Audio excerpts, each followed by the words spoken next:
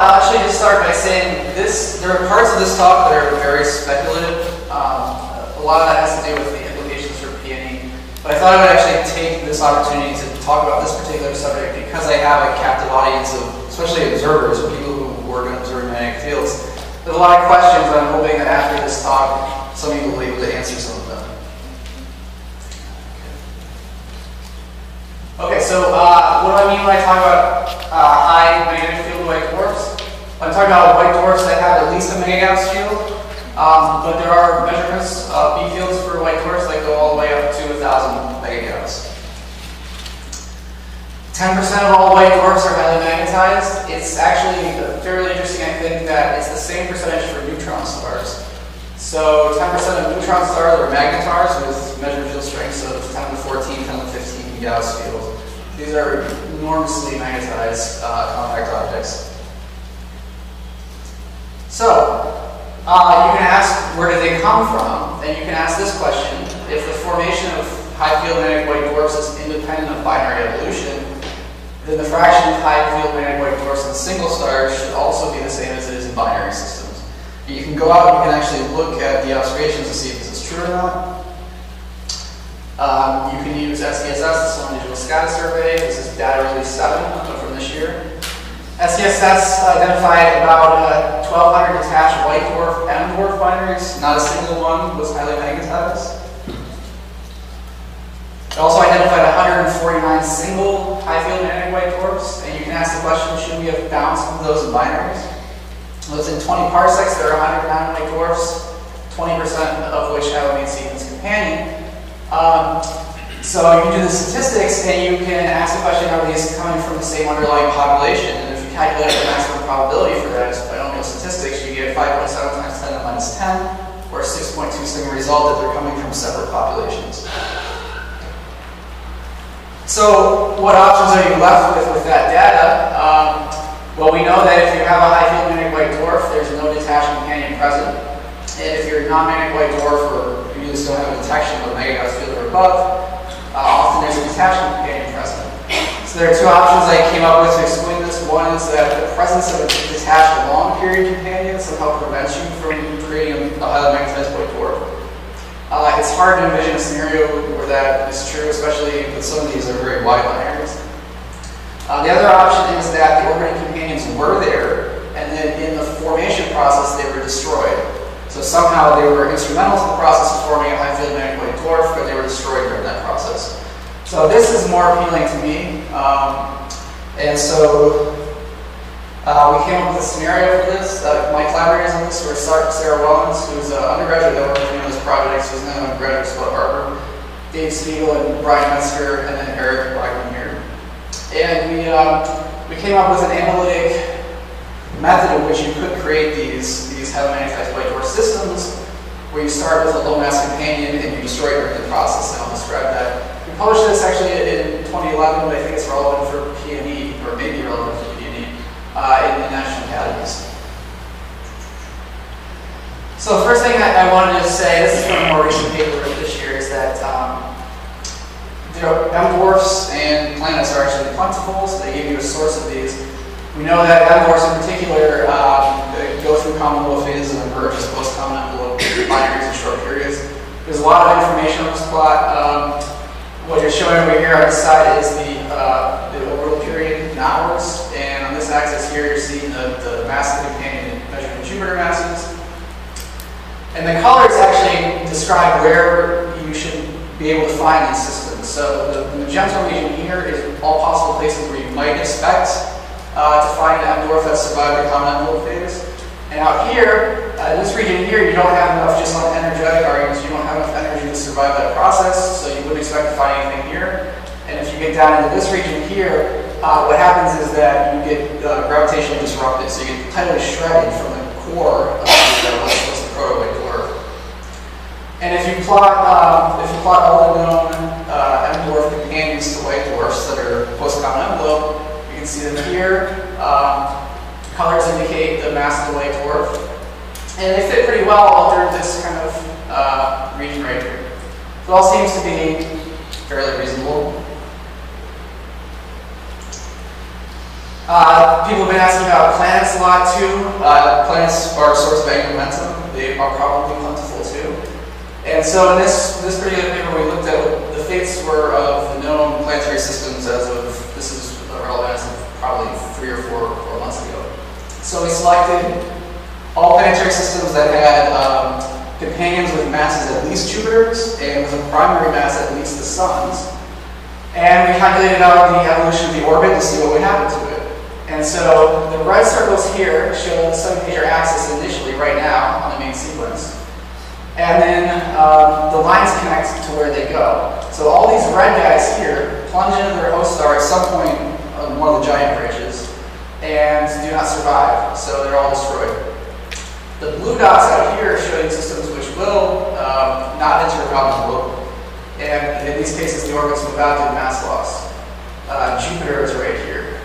So if you were to look for uh, planetary companions to white dwarfs, you would want to start looking right here, which is about 8 to 9 AU, and you want to look out that way. That's where you would expect to find planetary companions to white dwarfs. So, planets and dwarfs um, can enter common loops, and we expect them to do that.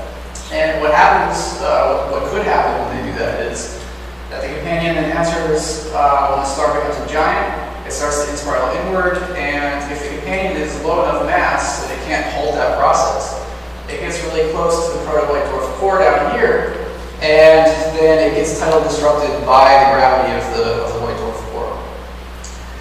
Uh, during that disruption process, then you've got the guts of the planet that then are kind of rotating around, smearing out, and may form a disk around the center. So the disk is actually inside the RGB or AGB star.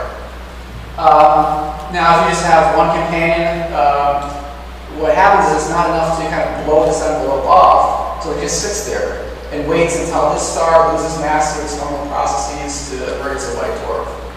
And our thought was that this disk, we looked into the physics of the disk itself, is a way to potentially um, generate these magnetic fields, accrete them onto the white dwarf surface so that when that white dwarf does emerge at the end of the AGB phase, it's emerging with very strong magnetic fields.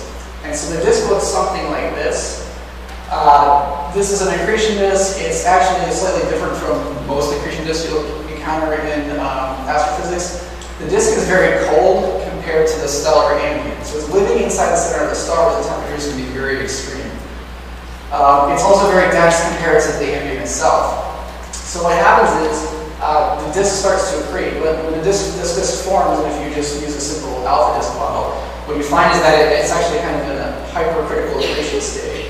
And what that means is that basically photons are being advected with the flow, so they don't have time to diffuse out of the disk.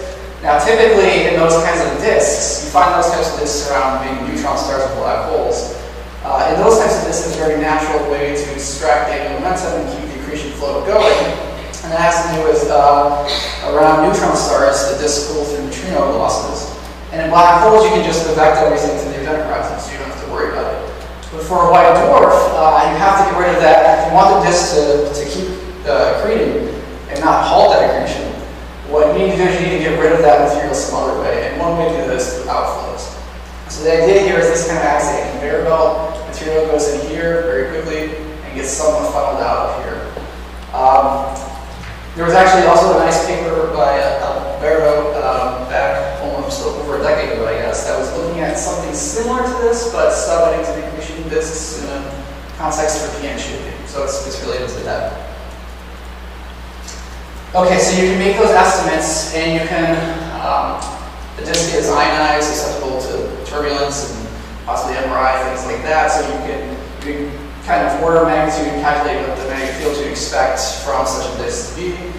And you see them, they look something like this. Um, for different assumptions about the um, viscosity the disk, we get uh, field strengths going from a few uh, megagauss all the way up to about 1,000 megagauss.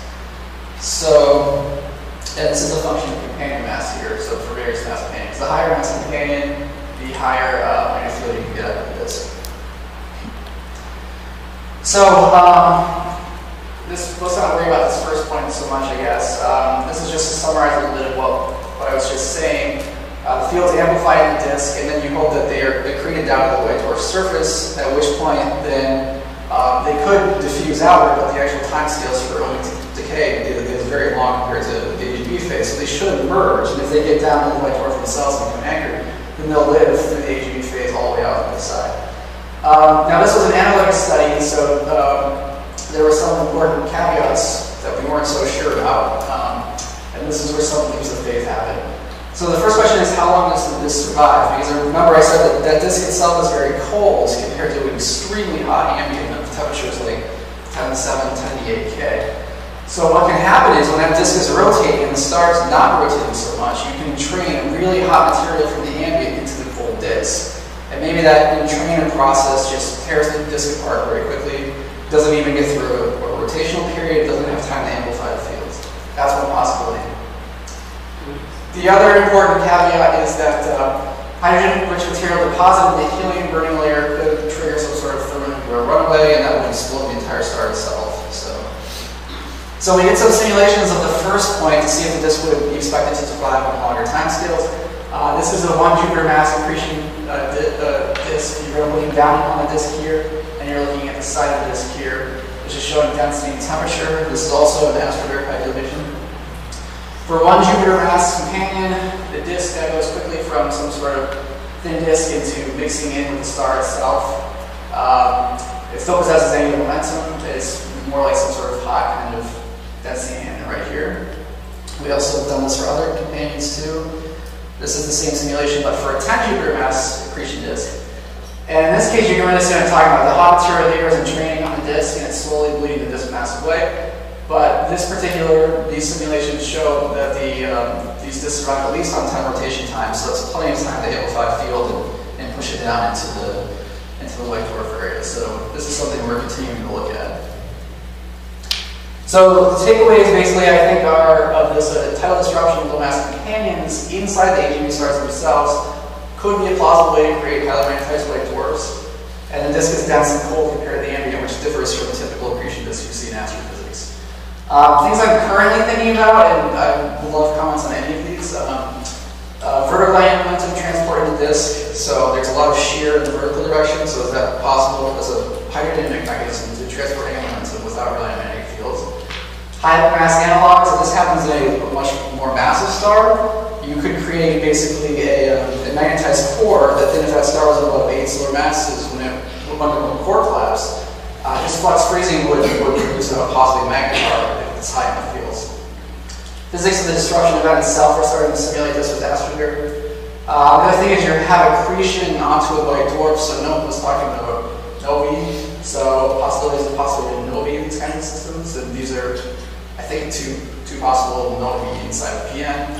And then uh, the thing I'm most interested in, I think, is if we found a mega Gauss field or higher energy white dwarf inside of PN, you think that some bipolar PN come from common envelopes, and you think these things come from common envelopes, and you find one inside of PN, that's pretty interesting, I think. So I'll stop there, and uh, please talk to me if you have any thoughts on any of these.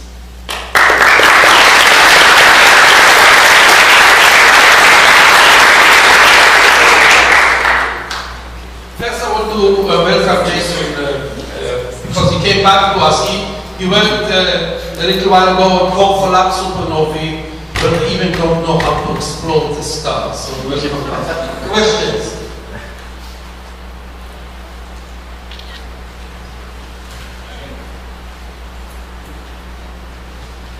So I don't I don't really know a lot about magnetohydrodynamics. So how exactly does your disk amplify the magnetic field? That's a good question. So if you want to amplify a field, you need some sort of source of energy, um, which typically will be energy in differential rotation, possibly also energy in turbulence. You usually need both of those things to happen. So through that process, the magnetic field can get stre like stretched out and then folded back and not itself. So it's tapping the energy from those two sources and turning it into, into more magnetic field. Uh, if, you want to look to, to learn, you can look at the people who are predicting the solar activity. Their prediction is perfect, but what they do is actually change their prediction observation. It's amazing. You look at the solar activity, they have prediction for the next, I don't know, 20 years. You look five years later, and the observation are exactly like the predictions. But then you compare the two and you see that the prediction line actually is influenced by the. So even people working on the sun, you know, it's hard to know about dynamo activity exactly. But basically what it's saying, you have differential rotation, convection. Yes, it's a back.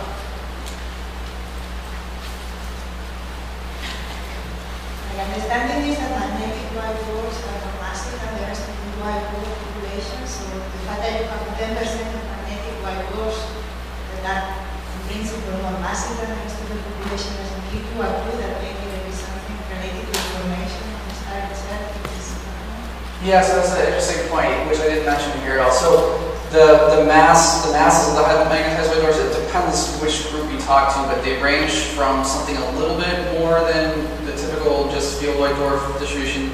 So, you know, averaging about 0.62 solar mass and 0.63, all the way up to about 0.8 uh, solar mass white dwarf. So there's been one other group that's tried to explain this kind of phenomenon too through merging merging white dwarfs, but think in that case, well, A, doesn't say anything about this, the SDSS statistics, and also it's hard. Then you need like 2.4 solar mass, you need a point, even if you're at that upper limit end. So there is evidence that there's, they're slightly more massive, but exactly how much it is, it's not entirely clear.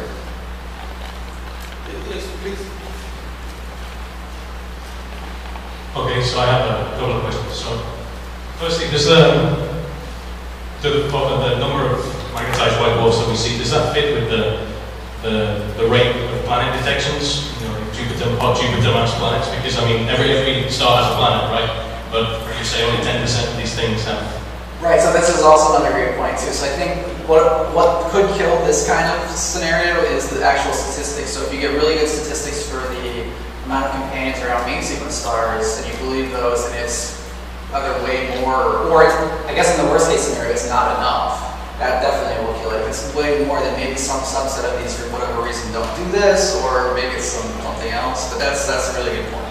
And then my second question would be: Are you basically trying to tell me that if we keep looking, given how difficult it's been to find any kind of magnetic field in a central star of a planetary nebulae, are we going to find the gigagauss Well, I, I don't know. I mean, so I mean, they find these things in the field, right? I guess it's all Xamon, but if you put it inside something that has a lot of gas or in nebula, I don't know if that makes it impossible to find it or, or what. Maybe Joel can say something. I'll just say the Helix Central Star. You know, it's got an unexplained hard X-ray source, and no binary companion, as David and others have mentioned. So, no, no detectable binary companion. You may have said this in this talk, so forgive me. if not. Did you give a mass, a rough estimate of the mass of, the, of these disks? Oh, uh, yeah, so the, they're, they depend on whatever companion we use. So for this one, it's a 10 Jupiter mass accretion disk. Now, in, in reality, well, in a more, a better theoretical picture, the, the companion will come in and kind of get torn apart somehow. Maybe some of that mass gets lost. So I'd say these are like, if you're disrupting this companion, this is like the most mass you would possibly have in the disk. Okay. The second question is, uh, you talked about the lifetimes, but do you expect there is any chance that they would survive No, I don't think. phase? It would be really interesting if they lived all the way through the AGB phase and came out on the other side, but um, at least in, I, I mean, I don't really know, what my suspicion based on what this is and then just basic uh, is spreading, if it really is some sort of alpha disk with reasonable value of alpha, then it, it viscously spreads and mixes very quickly.